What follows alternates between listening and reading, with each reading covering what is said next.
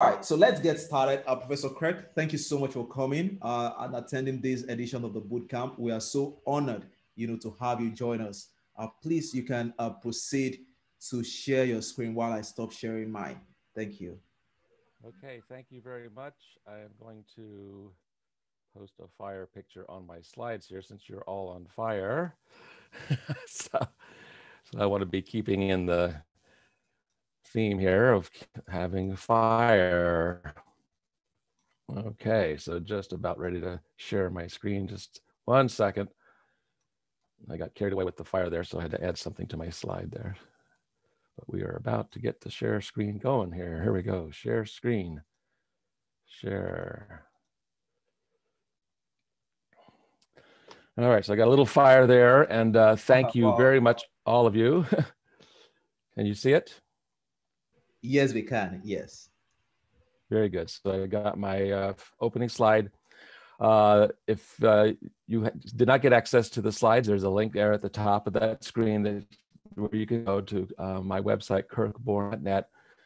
Uh, the, the URL for the location of the file, the slides, DS Nigeria 2020. So thank you very much for this invitation, for this opportunity to speak at this extremely important event uh, for all of Nigeria and for the, the young people of Nigeria especially. Uh, I must say that I, have had a long career in astronomy and data science, uh, a lot of things that I've done in my life. Uh, but the joy I've always had is working with uh, the young people who bring new ideas and fresh insights and, and new ways of thinking about things. And all my years at NASA, I was managing teams of people. It was always, you know, the, the pleasure of bringing in the, the youngest people. And I still remember some very young interns who came to work with us during the summer months who came up with some of the best ideas that we, we saw coming. And so you're all capable of doing that. And I really appreciate this opportunity to, to share with you some ideas and insights around uh, AI and data science, which will hopefully inspire you in your career and in the work you're doing. And it's really uh, the amazing future that we're talking about here. So the, the future of AI uh, is really this idea about creating value from data, but it's not just creating value from data, but it's really creating value at the convergence of many, many different emerging technologies. And that's what we're going to talk about here. So again, uh, you can follow me on Twitter. I hope you are. Uh, and uh, here we go. So we know all about some sort of typical AI and machine learning applications in our lives. And I put these applications under four broad categories of prediction, optimization, discovery, and detection. So for example, we have apps on our smartphones and when we shop online and things like that, that, that predict what we might be interested in buying, what purchases we'd like to make. Even recommender engines, when we shop online, they recommend products. Credit scoring that helps us uh, to uh, get a loan, perhaps. Uh, even the smartphone autocomplete on our phones, that when you have a text autocomplete, uh, that's an AI also. Uh, sometimes it does silly things for us when it, it completes the sentence incorrectly. Uh, but that's a predictive algorithm. It predicts what's coming, uh, what's likely to happen. So it also optimizations, optimizing our schedules, or maybe our traffic routing on a map to our destination, even optimizing our personalized learning programs. Uh, we have discovery also. If we have wearable devices or Fitbits or any kind of a sort of health monitoring system, we can detect health issues, discover health issues. We also can discover our best deal when we're online. And then detection. So detection can detect whether you know, what's happening with our, our credit, with our banks, uh, many different kinds of things. Well, that's personal, but also in business. We see typical AI and machine learning applications in business and the enterprise, in government and agencies, at any place in the world actually, but it's, it's still in these same four categories of prediction, optimization, discovery, and detection. So for, for example, organizations and businesses want to predict, you know, outcomes or events, prices, costs, risks, product demand. A lot of prediction going on. We also want to optimize the delivery of our services, supplies, and personnel. So optimizing processes, processes, and people. And then we like to discover uh, insights. So businesses want to discover what's going on in their market. What are people saying about our product online and social media?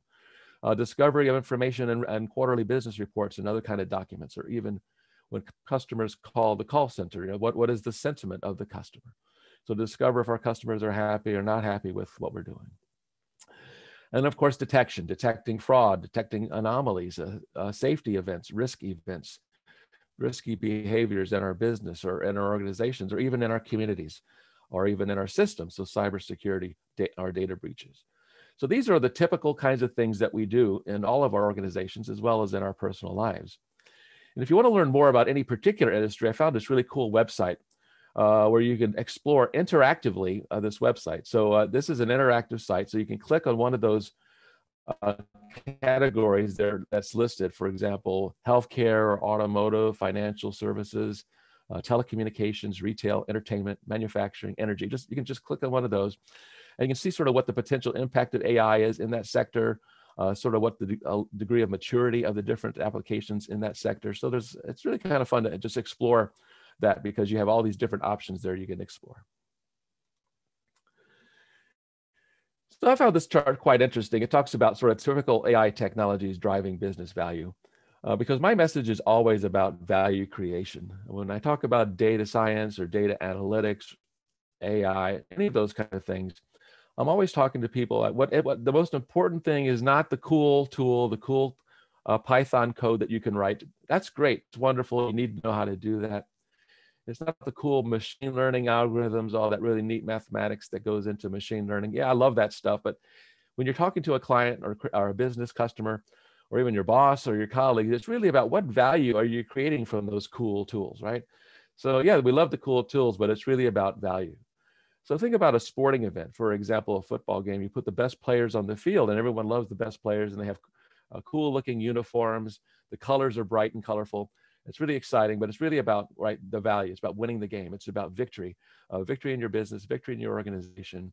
Uh, so the colors are nice, but the colors are not what's going to get you there, even though they might inspire you. So, so those tools and things you're learning, uh, those are sources of inspiration for you, sources of inspiration that drive you to create value. And so when we see these uh, sort of five general areas of, interestingly, one of them is image recognition. And there's a long list of ways we, we, we do image recognition both to uh, identify products and services and images, uh, detect uh, people's uh, uh, facial recognition or even sentiment or emotion from their faces. Uh, we can monitor, for example, assembly lines or construction sites or even disaster areas or floods, for example, from satellite imagery. We can analyze all kinds of things from images. But the other four categories there are all related to language, language, speech, chatbots, natural language generation, sentiment analysis, analyzing language because language is one of our greatest tools of communication. So language itself is data. When we speak, it's data. When we hear other people speak, it's data. So it's not surprising that a lot of our, our uh, AIs are basically doing exactly what our eyes and our ears and our mouth are already doing, right? We're speaking, we're seeing, we're hearing. And that's exactly what all these algorithms are doing. It's really uh, all about creating value from this thing called artificial intelligence. But I always like to tell people, even though artificial intelligence starts with the word artificial, there is nothing artificial about artificial intelligence. It's it, if it is artificial, then it's not creating value. We're going to create real value. So the real value of AI is augmented intelligence and accelerated intelligence and amplified intelligence. It's these other things that are real value to our organization. And what that real value creation looks like is it's AI is taking our data streams, no matter what they are, images or sound or, or text, any everything is data. Like we, we just heard in the introduction, it's not just about databases and numbers, it's about everything, images and videos and text and documents and online social media and everything is data even your face is data, right? So you can detect whether someone's happy or unhappy when they when they're looking at your product and an image online. If someone posts a video online about the product, the company brand, they can use AI to detect their their product in the video. They can detect their brand in the in the video. They can find the logo, they can find the product. And then once they find the product, they can identify is someone happy or unhappy with that product. So now we're creating value from our data. We're creating value from our AI. So AI is taking data to some insights. And from those insights, it leads to us making better decisions and taking actions. And that ultimately leads to value. And that, that's what we're really trying to do here. So I put AI into these three broad categories, and we've already saw two of them on the previous slide. First, image understanding. Number two, language understanding. And number three, I think, is really sort of the capstone or the overarching umbrella term or concept around AI, and that's context understanding. Sort of understanding the whole context, the environment in which something is happening. So it's not just the things we see and the words we hear and the sounds we hear. And it's not, it's not just about those things, it's about the full context, the cognitive awareness of your environment before you take it, an action. So you can learn the next best action and take the next best decision when you have full cognitive and context understanding of your environment. And that's really what the AI is moving toward. It's not just understanding images and language, even though that's very important. That's part of it. But where, but how, what is the context in which that image is seen? What is the context in which those words are spoken? That's all important. So at the end of the day, it's really about data. Okay, so yes, we're producing value, but really, if we don't have the data, if we don't have the input, it's like fuel for the car. If you don't have the fuel for the car, you're not going anywhere. But what's important to remember is it's all it's not about the car, it's not about the fuel. What's important is where you're going, you know, the destination or even the journey. All right. The fuel gets you there, but what's important is the journey that uh, you're on and the place that you're going to. So AI helps us get to the destination, that value creation. But none of that goes anywhere without data. So some people say AI consumes data. Uh, that's like eats data, right? But uh, I like to say AI devours data, that it just eats everything in sight. It, it uses all possible data. All right. And that gets gives us more than just tasks and decisions, but it brings us to desirable outcomes and, and a, a pure cognitive way of using our AI to emulate the way humans react to the world.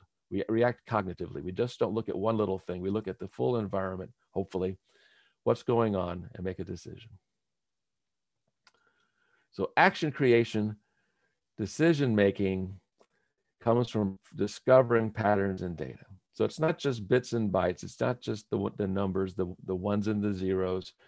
You got language and text and images to a computer are just ones and zeros, right? So there's still it's still all about numbers, right? When we feed an image or, or a, a, lump of text to a mathematical algorithm, it sees bytes, right? It sees ones and zeros.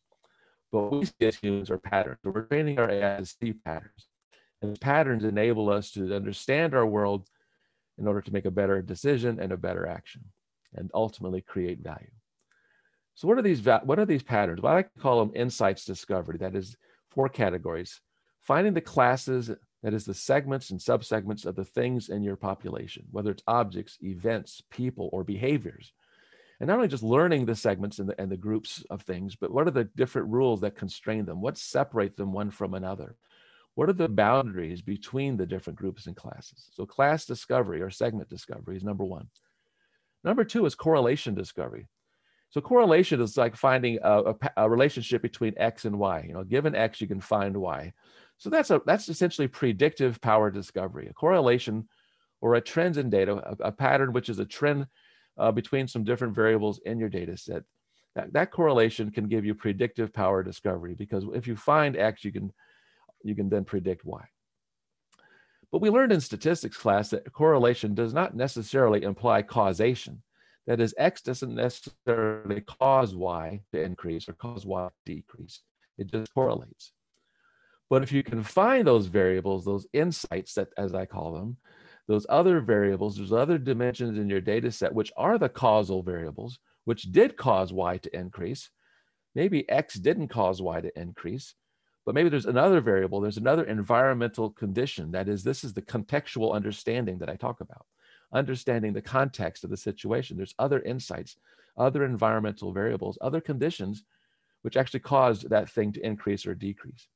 And once we learn those things, then we can make adjustments. If we don't like the prediction that we're making, we can, instead of saying we don't like that prediction and just say, okay, let's just leave it. No, we're going to do something about it. And that's called a prescription.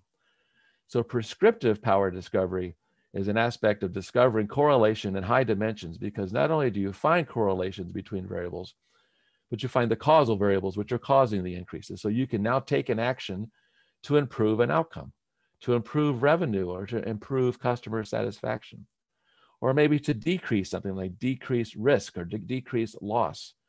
Okay, so there's things we can do to increase or decrease from prescriptive power discovery that comes from correlation discovery. Number three is my favorite. I call it surprise discovery. Statistics books call it outlier detection or sometimes anomaly detection. But I say it's really about finding the surprising, unexpected thing in your data. And sometimes that unexpected thing is right in the middle of the data set. Sometimes there's, there's something there that sh there should not be a data point at the very center of the data set. But sometimes there is something there, and that's a surprise. So the statistics book would not call that an outlier because it's not an outlier. It's in the middle of the data set. It's an inlier but it's still a surprise. So finding the surprising, unexpected thing for me is the most exciting part of data science.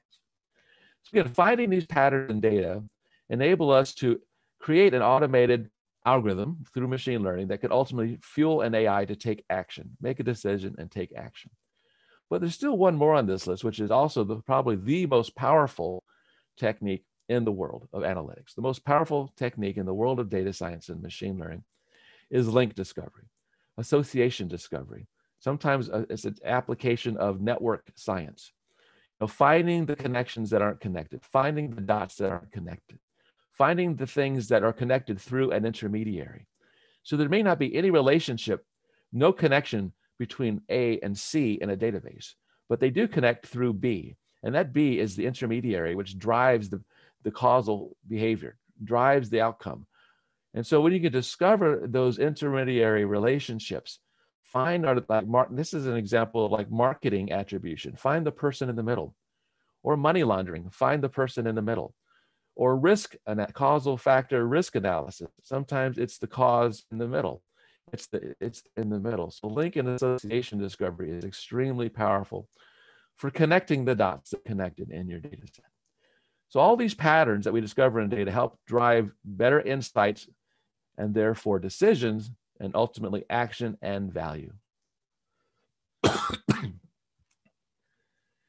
here's a list of some of the emerging technologies in recent years and in the years looking ahead. So some of these things are already with us and some are coming or, and some are uh, exploding right now. So there's a rapidly expanding frontier of emerging technologies. And I say that many of these, if not most of these innovations in these uh, technologies are inspired by data. They're informed by data and they're enabled by data. And what's really great is they create value and jobs from data. And I really believe that AI is sort of driving this frontier. It's driving things forward because AI is automating, accelerating, amplifying, augmenting our natural intelligence. That's the real A in AI, not artificial, augmented intelligence, accelerated, amplified. All of these emerging technologies are being amplified and accelerated by the data information, data informed actions and decisions that AI enables. So look at all those things on that list. Don't try to memorize them all. I'm going to cover a few of them right now for you. So if you probably know some of these things, but I'm just I'm going to show you a progression of some of the concepts emerging technologies that you just saw on the preceding slide. So for machine learning, I'm sure many of you already being very successful in this boot camp to be here participating in this AI boot camp. You probably already know this, but I'm going to just say it anyway. That's going to help us move forward to the other concepts. So I like to define machine learning by the simplest definition that I've ever seen. And this is the first definition I saw of machine learning over 20 years ago. I just, I'd already been doing many years of as an astrophysicist, as an astronomer. Then I discovered machine learning and said, wow, what is this cool stuff? And I looked up a definition for what it was, and it said algorithms that learn from experience. And that seemed kind of strange to me. I said, that's a very simple definition mathematical algorithms that learn from experience. So, really, what it means is these are ma- mathematical algorithms that help you build models that learn the characteristic patterns in data that's in order to get things right. That is to classify it right or to diagnose it right, to get it right.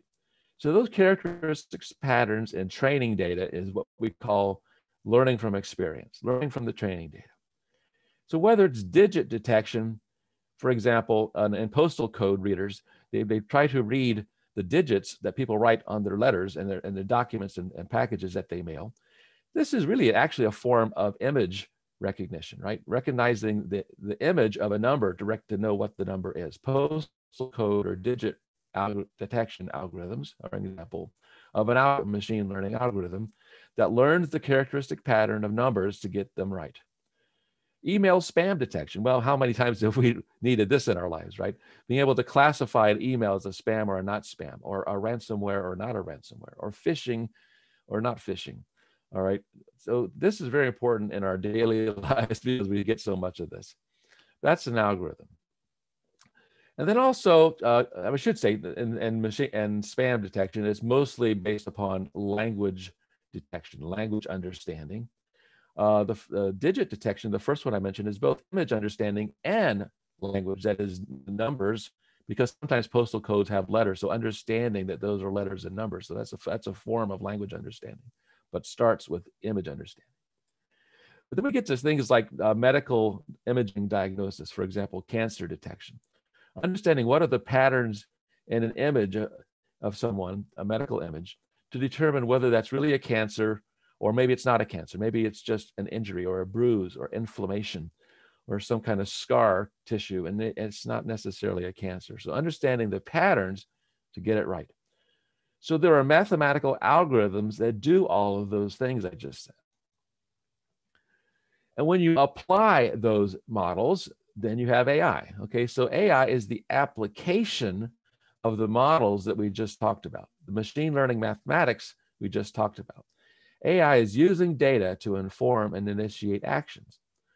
So the first three examples of this are just the three I showed on the previous slide, right?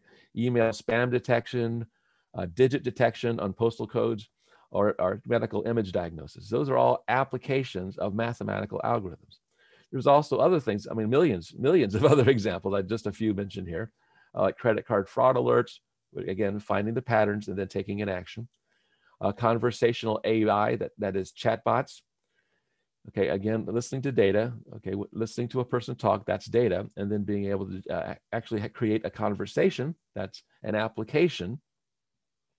And of course, product recommendations, which are built upon mathematical techniques and recommender engines, which include linear algebra, and association mining, and a, a lot of different interesting techniques, predictive analytics.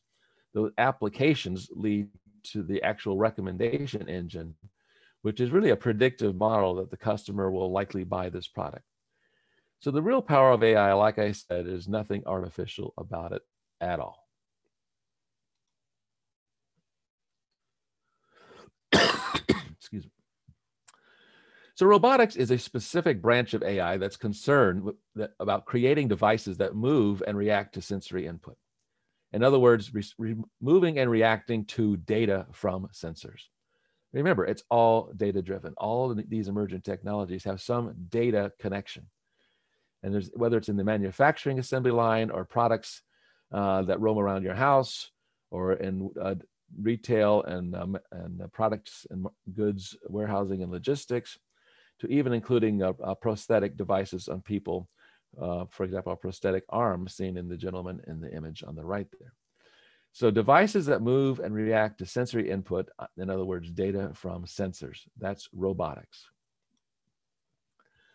So think of drones as an example of a robot. It happens to be an unmanned flying robot, but it's still like a robot. It can and it can fly either by human control, or most likely it can fly autonomously uh, through using software controlled flight plans or onboard sensors, including GPS or even computer vision, to know how to navigate a terrain.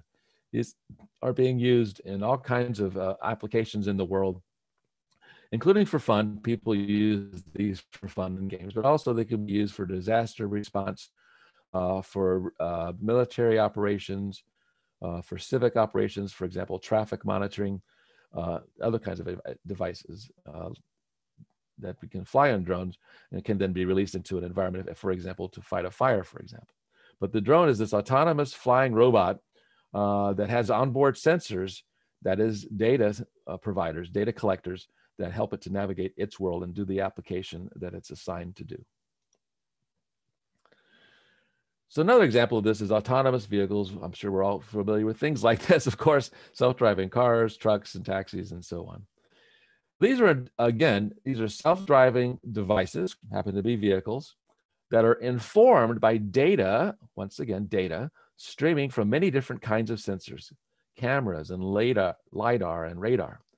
And from these streaming data, the vehicle makes a decision and takes an action which is based upon algorithms which are fed by data. So again, we, we get the measure of algorithms, the mathematics, the data, the sensors, the decision, and the ultimate action that comes from all of that. And ultimately, it's about the value, right? So the self-driving vehicle isn't just driving around for fun; it's taking you somewhere. It's going to a destination. Self-driving trucks, they're delivering products uh, to destinations, to customers, and, and to manufacturers, from manufacturers uh, to the just to the retailers, to the sellers. So it's delivering value, uh, all driven by data.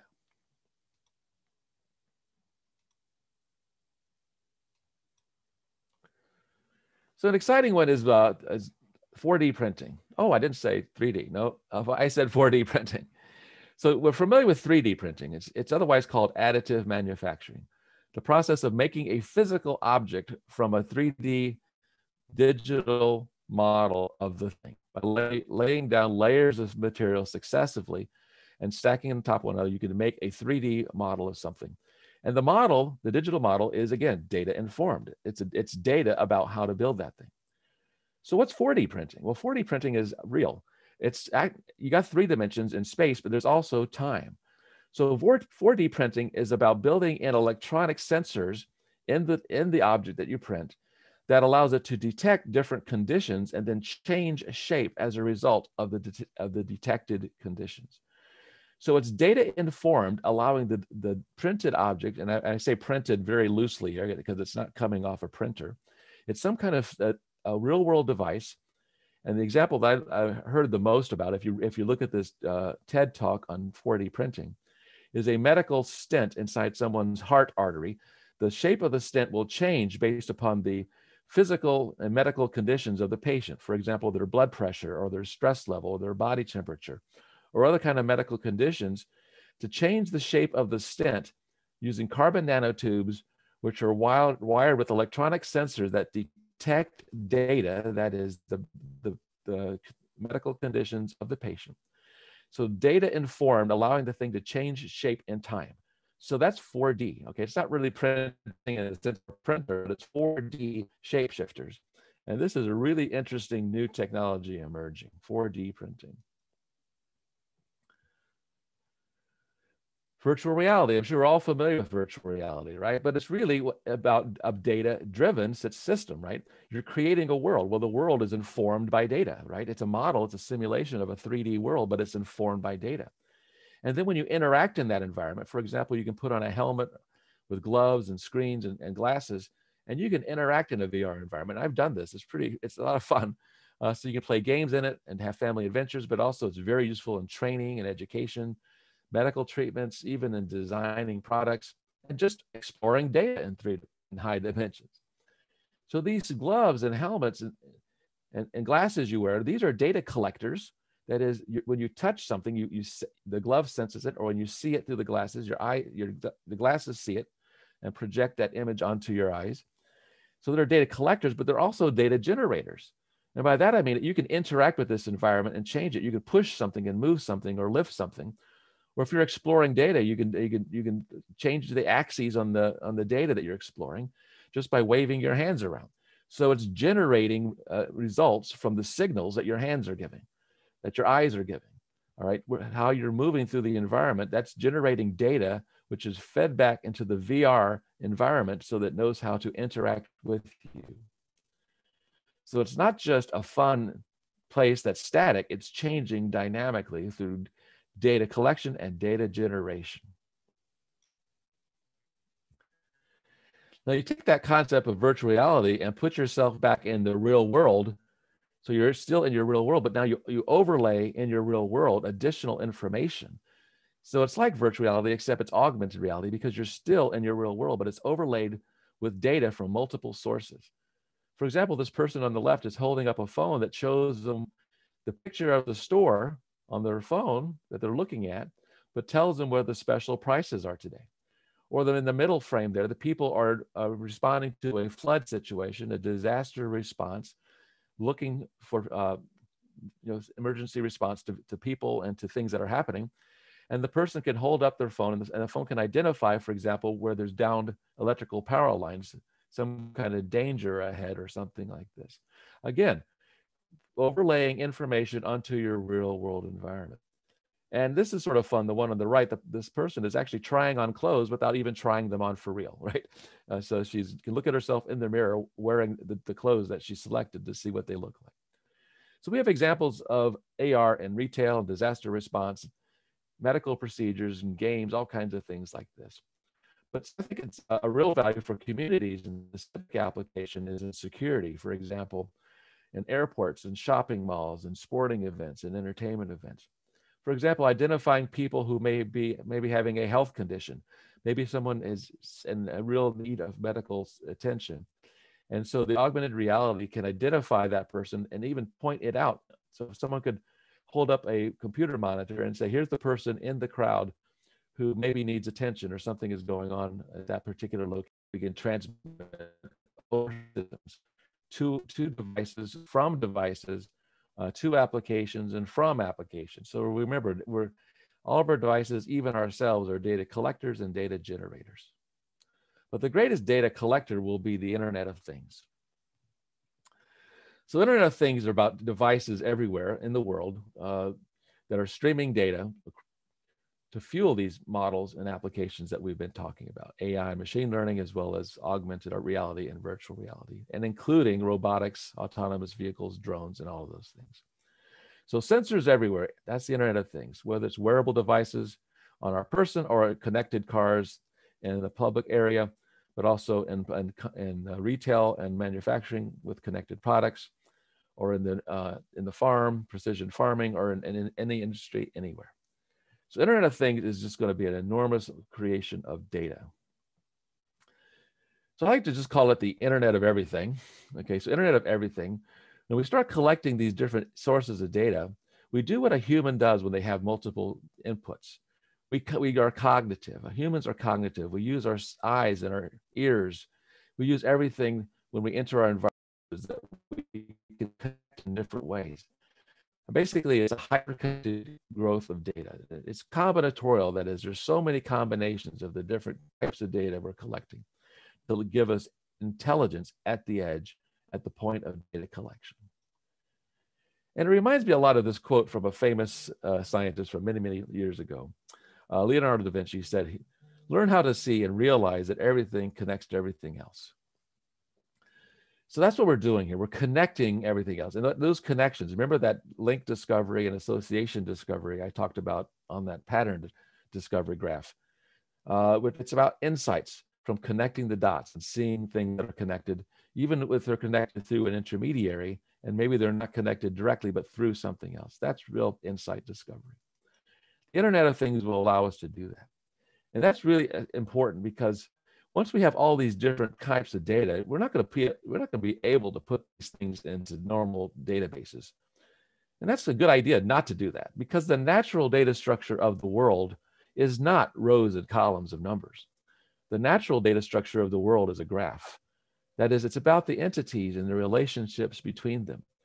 And we're seeing applications everywhere in healthcare and security and energy and life science and markets and finance.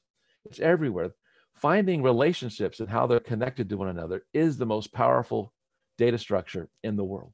And so when we have multiple sensors and multiple data collecting sources, we can see how they relate to one another, not in any kind of relational database, because that would take forever to uh, insert all those different streams of data relational databases. But we can immediately, from the moment we collect data, realize that this event is like that event, or this person's behavior is like that person's behavior or this product is like this other product. We can start finding connections across the graph of knowledge, the, the graph of all of our environment, the entities and the relationships between them. Graph analytics, the most powerful tool in data science and in AI, because that is what we do as humans. Our natural intelligence does this. It connects the dots, it sees the relationships, just like Leonardo da Vinci said. We see how things are connected then we make decisions and take actions based upon all those things that we see. And so our best AI is one that uses this technique of graph analytics and linked data. So there's applications everywhere, and you can see it everywhere: energy and health and medicine and farming and cities and traffic and maintenance, even in your own personalized learning and personalized finances. It's everywhere. Everything is now becoming smart. You know, smart cities and smart farms and smart homes. Everything's becoming predictive, like predictive maintenance and predictive farming. You know, predictive marketing, precision, precision medicine, precision farming, and ultimately personalized personalized to you, to your specific needs and wants and preferences at this moment. So the more data we have and the more tools like AI that we have, the smarter that we can become, our smarter that our cities can become, the smarter that our businesses can become, our smarter that our whole environment can become to make a better world for all of us. So what, what we're doing here is now really moving intelligence to the edge of the network. So the AI that we're putting into our sensors, is essentially putting the intelligence in the data collector itself. Maybe not exactly, but pretty close. There are now sensors that is a all of these things I talked about are an example of what uh, I learned about many years ago. It's just this DDDAS, Dynamic Data Driven Application Systems. So work backwards from that. First, it's a system of things. There's devices, collection, actions, decision making. It's a system. So, eh, but it's an app, a real application. So it has it's applying to something in the real world, and it's data driven. So the data informs the action, informs the decision, and it's dynamic. Okay, so it's not just a static data driven thing. You look at the data one year from now and say, I should have done this one year ago. It's dynamic in the moment at the point of data collection. And if you look up this uh, concept of data driven, dynamic data driven application systems, you'll see there's four components. There's four steps that take you from data to action. And those steps are measurement, that is collecting data from any type of sensor, inference and prediction.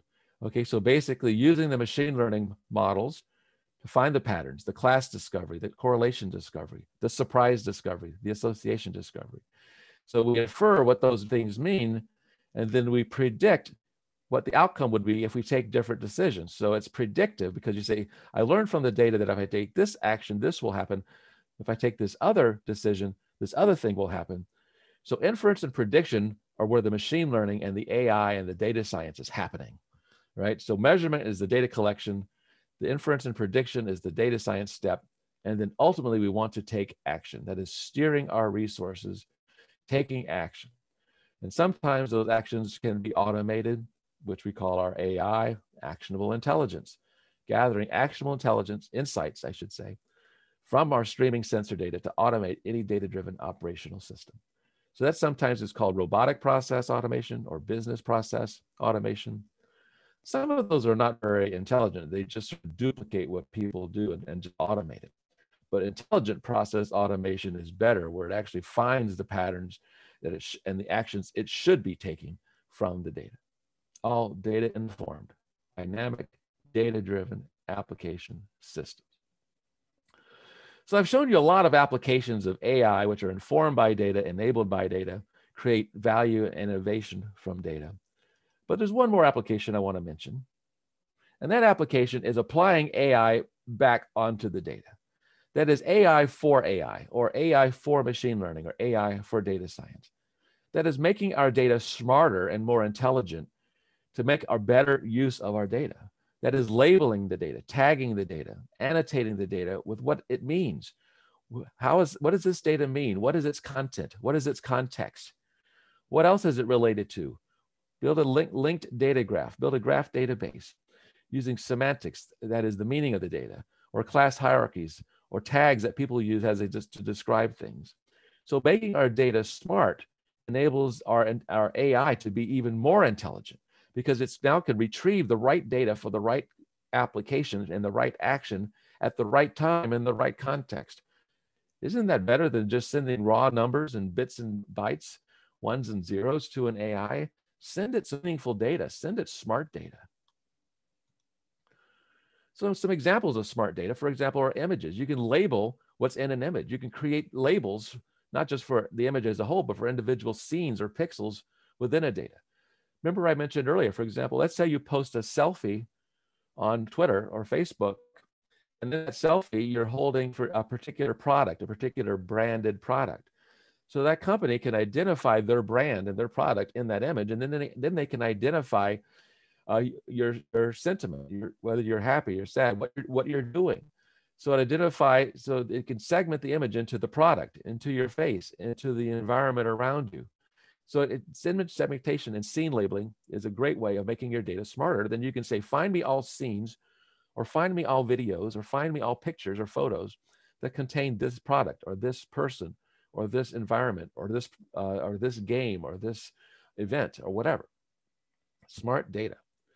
Text, okay, basically extracting content, context, and sentiment from text makes the data smart. Labeling the text, not just say, here's a document, but I can tell you what's in the document and the context of the document, even the sentiment of the document, the topics, and whether the topics are evolving over time by looking at a whole collection of documents. I can build topic models, topic evolution models.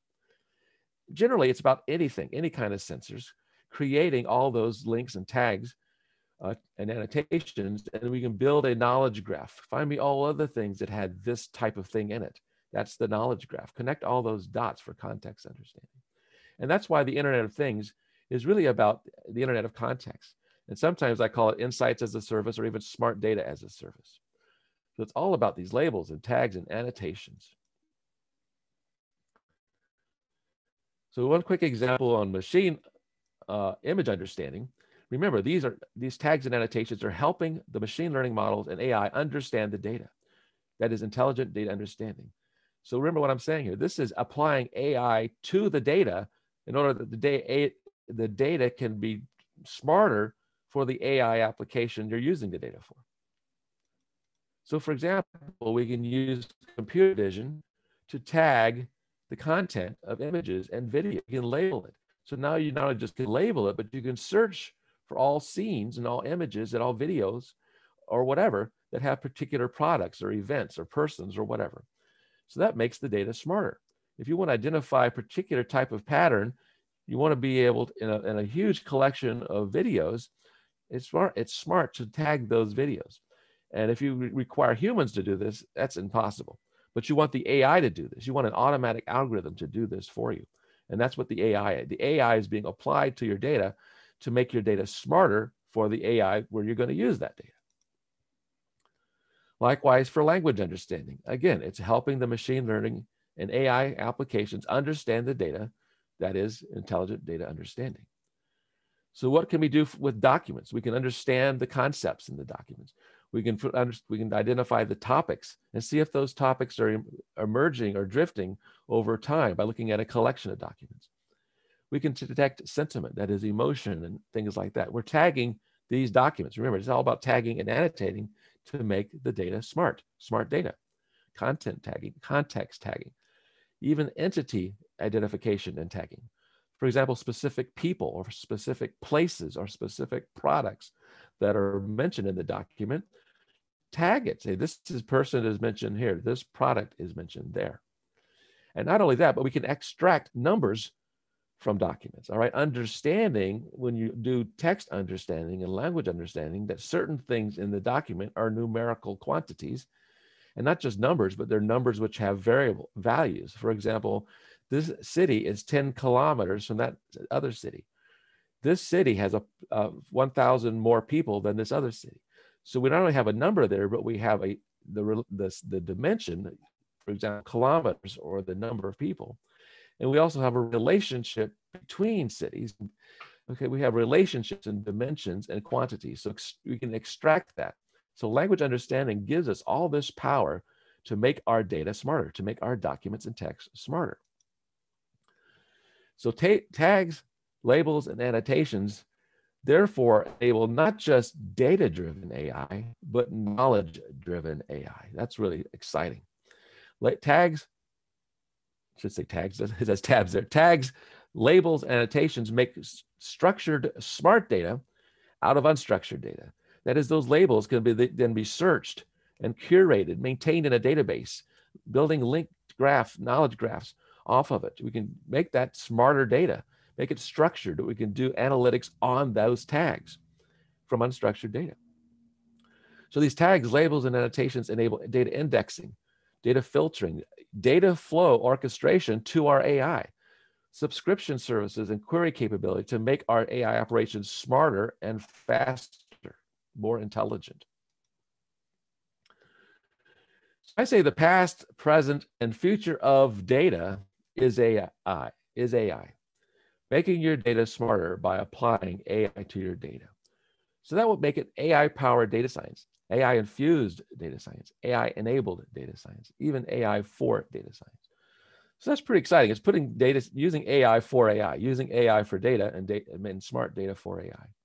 And there's been many different links to documents and websites on my slides here. So when you, when you see those links, like you see in this slide, uh, th those are places you can go and learn more about the things I'm talking about. So now some final remarks here. And uh, I just want to make a comment here. That is, uh, I added a few extra slides from the original version that I sent to the uh, organizers of the bootcamp.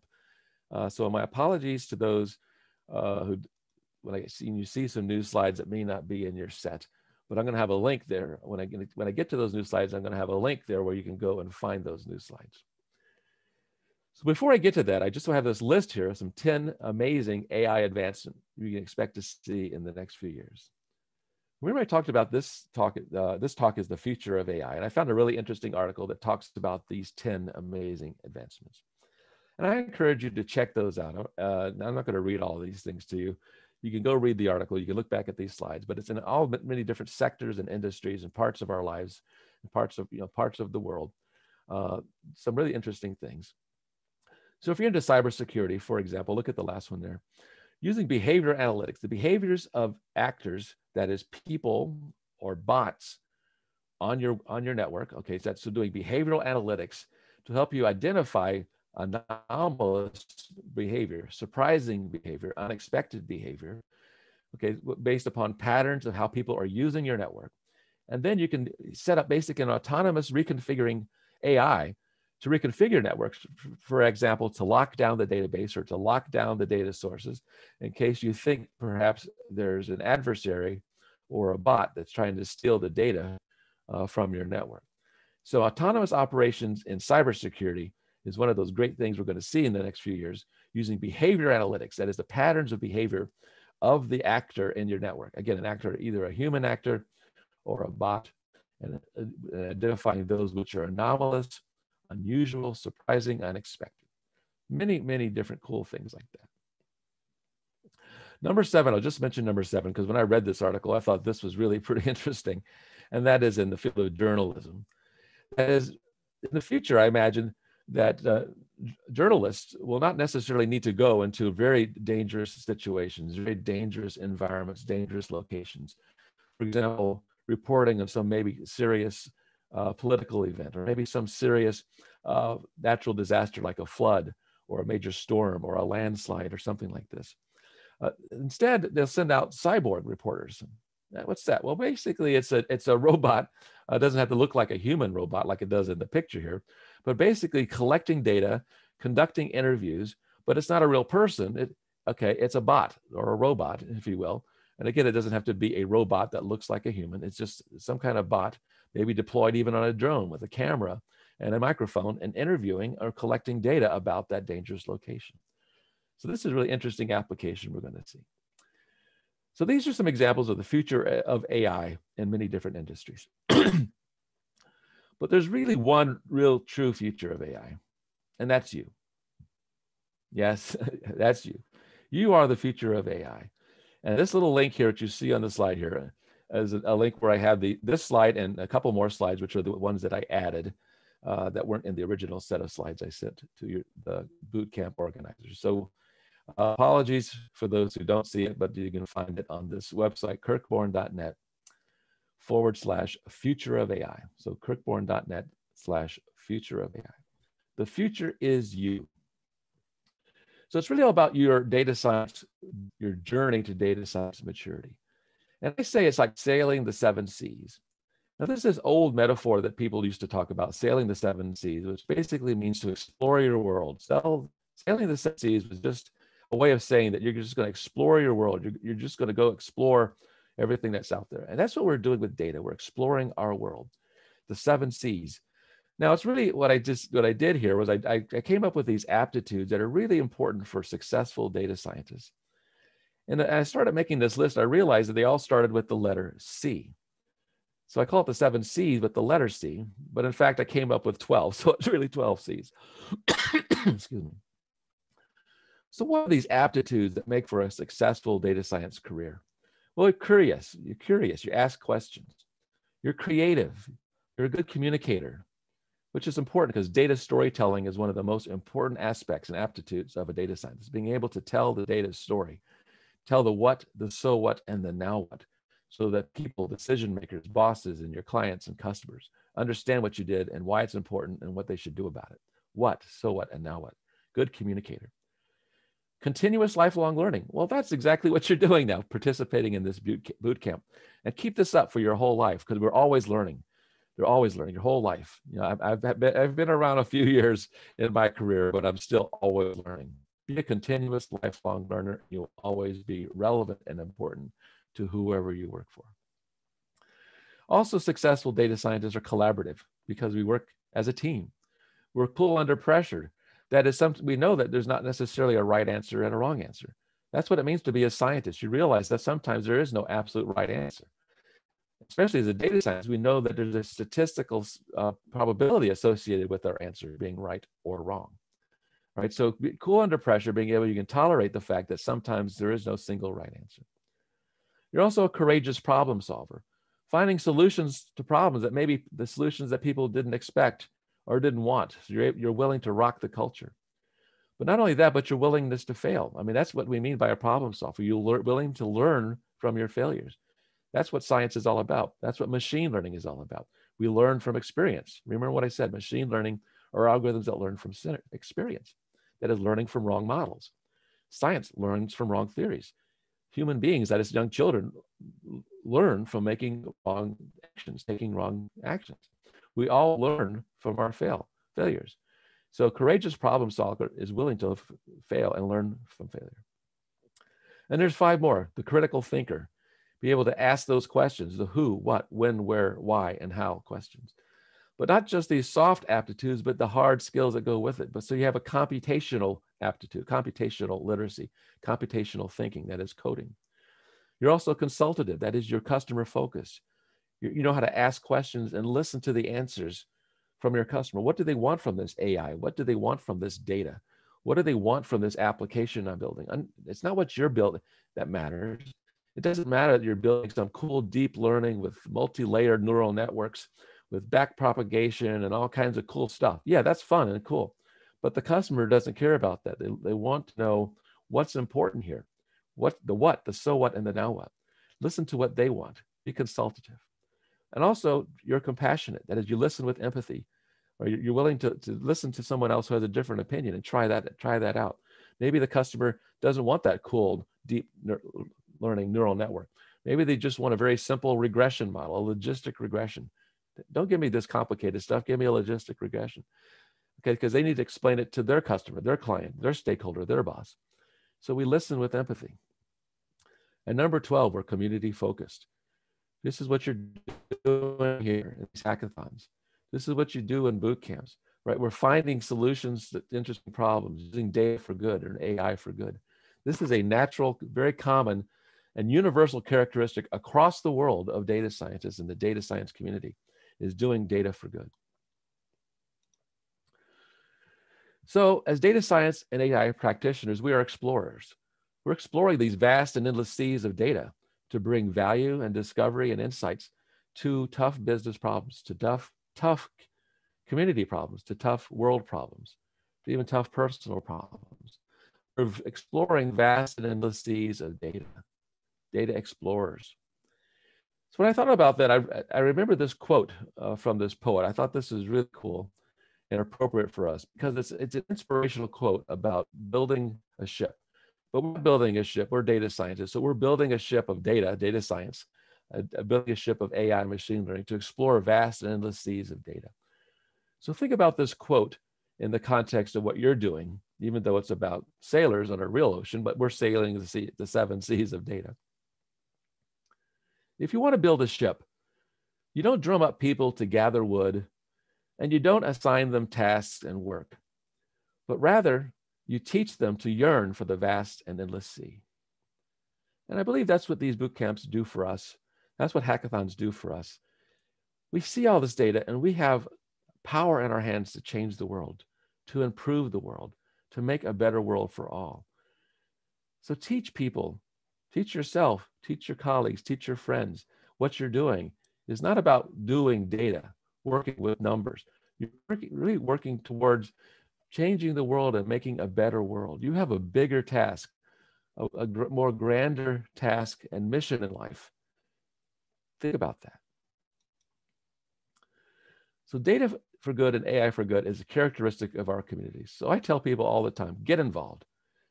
So, your data, your AI applications, your sensors, the IoT, you yourself, we are all partners in sustainability this data that we're getting, we're collecting gives us the power to know things that are not knowable through all these different sensors. We can get involved in improving our world. Look at these 17 gl- global goals, the sustainability development goals from the United Nations.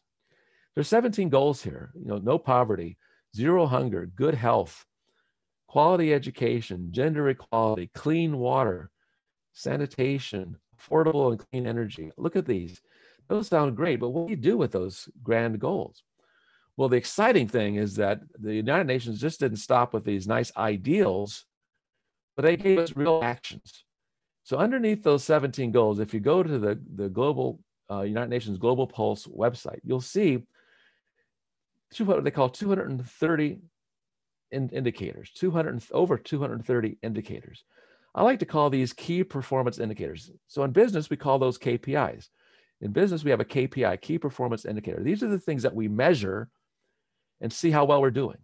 So there's 230 key performance indicators for our world provided by the United Nations Global Pulse site that address our performance toward achieving these global 17 global sustainability goals.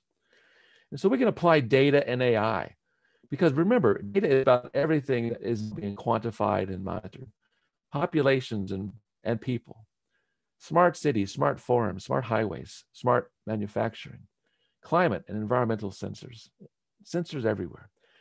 And from all these data, we discover patterns and insights that lead to action, lead to value creation. Remember those patterns class discovery, correlation discovery, surprise discovery, association discovery. So get involved, use your data for social good.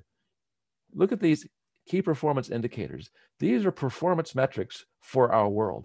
They are measurable, actionable. Patterns can be found. We can take action and improve our world. So data is everywhere. It's a part of everything. Without data, you're just another person with an opinion, as this guy said. So data is everywhere. It's part of everything. Data science is about connecting the dots.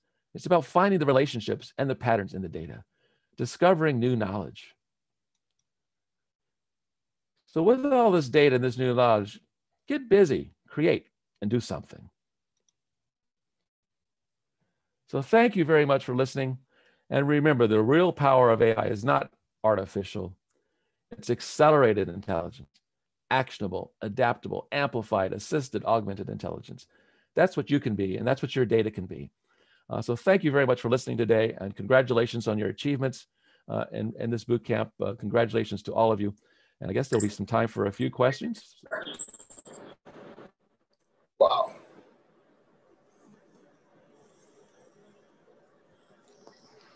Okay. Okay, this has to be, uh, this is the most extensive big picture presentation that I have been in. And uh, Professor Kirk, we have some questions in the Q&A session. Uh, I will read some of them out. Uh, someone says, how close to reality is the technology of nanites? I don't know if we can see that yet. What was, I'm sorry, what was the word there? Uh, well, the technology. nanites. Nan, I don't know. Okay. Uh, please check the Q&A session, uh, Q&A, uh, uh, the first question. Okay, so I, I yeah. Yes. Fine. So thanks, for So I think we should we can read them out. Okay, Lekon. Yes, so like everyone. I, I, Okay, Leka, you can start from there. I'll Okay. check the chat window. Okay, so someone is asking okay. this question, uh, Prof. So someone is asking that. Oh, oh, nanites. Okay, so So someone it's is like carbon nanotubes. Is that what the question is about? Yeah, so let me read this out. Um, so somebody is asking what are the top challenges you currently face as a professional uh, data scientist, and how do you go about tackling them? The challenges that you currently face as a professional data scientist, and how do you uh, tackle them? Well, there's uh, there's diff- there's different types of challenges, uh, some of which are technical. Uh, for example, uh, a technical challenge, for example, is when you work with people who have a lot of data. For example, organizations, they have uh, data in different silos. So data integration is a big challenge. And the way I like to tackle that with people is I, I, I tell them that you really should find the links and associations the things that connect the, the different silos of data. So the value is found in finding those connections.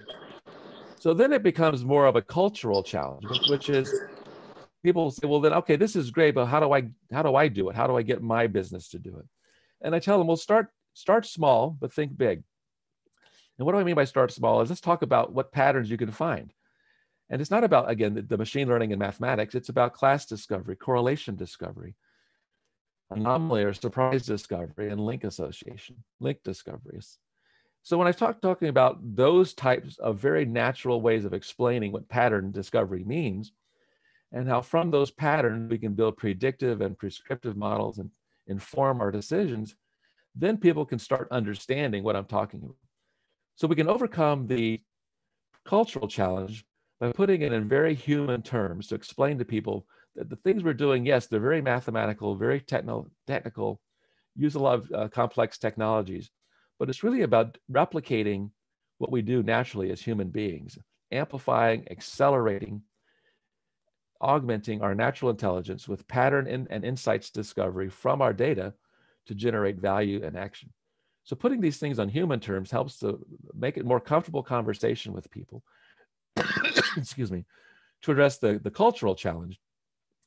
And when they think about that, and I talk about the way you're going to make, be able to connect those dots is just, is to start connecting your many diverse data sources, start integrating.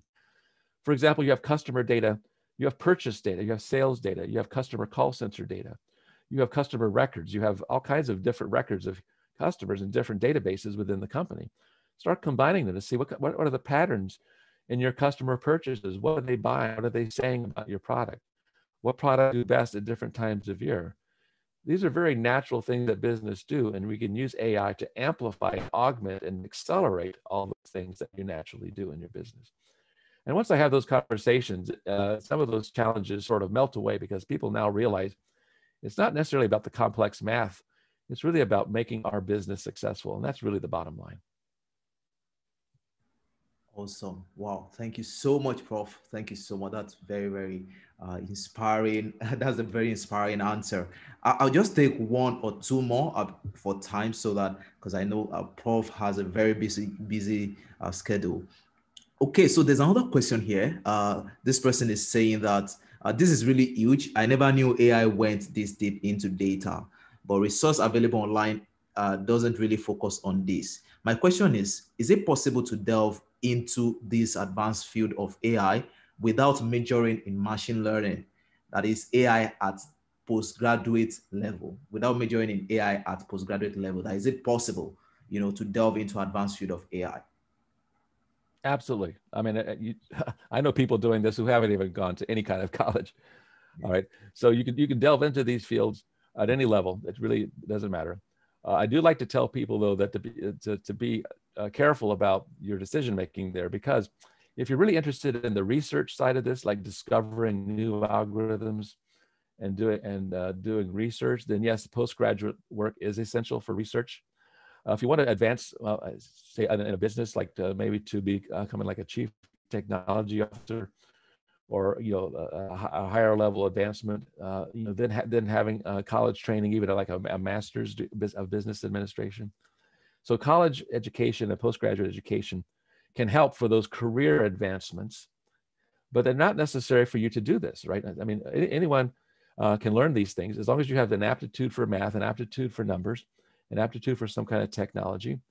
And most of that uh, starts with just having a passion for it. You know, if you have a passion for it and you want to learn it, uh, a lot of the stuff is approachable. There's there's hundreds, if not thousands, if not millions of resources online where you can learn at any kind of level you want. You can learn at very com- complete, uh, excuse me, comprehensive sort of postgraduate level discussion of AI, or you can take it uh, more of an online uh, course uh, that teaches you the basics to get you started. And once you get started, then you can move up the ladder of knowledge to do more complex things.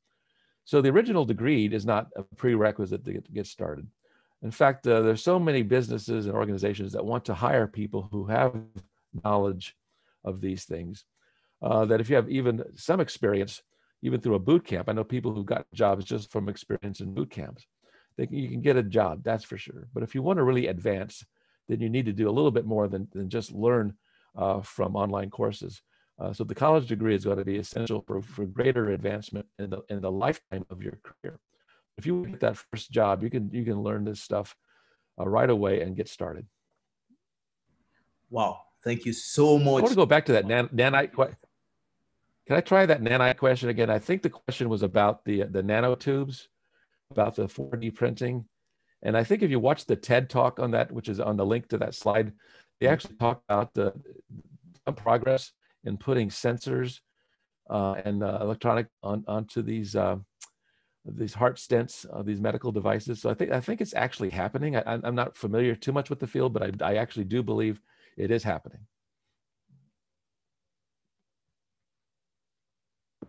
Awesome. Thank you very much. So for time, uh, so we have Dr. Bayo. Uh, Dr. Bayo, you want to come up now, sir? Yes, um, I think uh, on behalf of Data Science Nigeria, I want to especially appreciate uh, Dr. Kirk Borne uh, for spending his very expensive time with us this evening to inspire the Nigerian AI community. you know, uh, glad to glad to meet you finally. Thank you. you. have exchanged email for the last year, I think. yes, we have. Uh, it's been such a great inspiration. It's doing a lot for us as a community beyond uh, being physically present at this boot camp. Um, you know, our book is one of the biggest promoters of our AI book globally. Is consistently promoting the book, you know, globally around the world. We so much celebrate you, and it's also working with a lot of young Africans in the diaspora. Uh, there's a young Nigerian that is working with uh, that he introduced to me, uh, which are indications of Professor Kirk Borne's commitment to genuinely building talent, especially you know in our part of the world, you know, genuinely showing serious commitment. Is one of the most influential AI and data science experts in the world. You need to go Google it. Is one of the most recognized expert and authority. When they list top 10 influencers in AI data science, if you do not see uh, Professor Kirk name there, then that list must be a wrong list.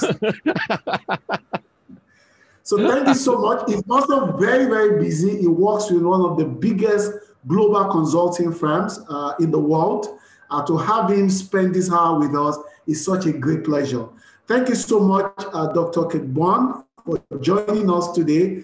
We look forward to seeing you again, and I'm sure your passion for us will never stop. Thank you very much.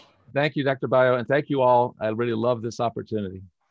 Thank you, Professor Kirk. Thank you for joining. Oh, thank you so much. All right. Well, also. And thank you thank so you. much. awesome. You too. I appreciate it. Yeah. All right. Thank you. All right, I am leaving now. thank you. Okay. All right. Bye. Thank you. Bye-bye. Bye bye. Yeah. All right. Great. Great. Wura, that was a fantastic session. I mean, that was a fantastic session. Guys, I'm sure you guys are pumped up already. Uh, so again, remember. Everybody, everybody needs to go back to those slides. The content mm-hmm. there is something made of book. It's well researched. It's perfect.